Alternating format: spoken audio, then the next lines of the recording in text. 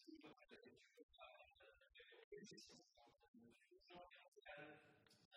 suis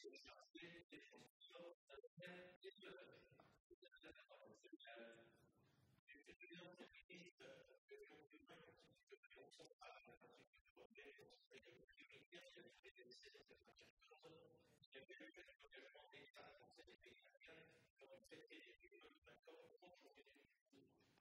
Le crédit à la carte, c'est qu'il y a une nouvelle renforcée sur le transit de l'air. Ce crédit à la carte, c'est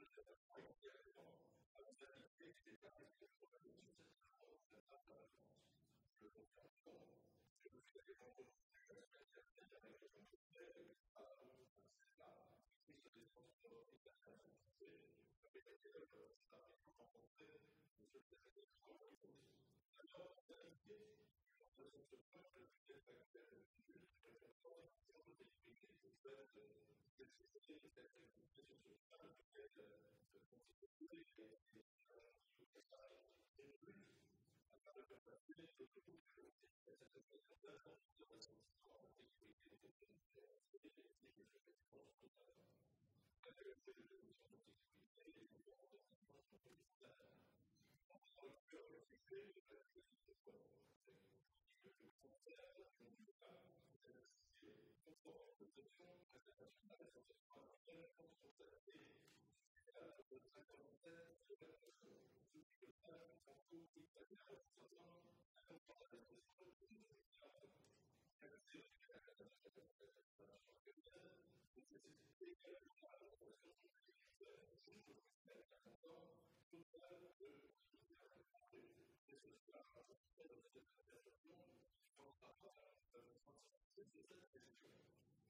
2019,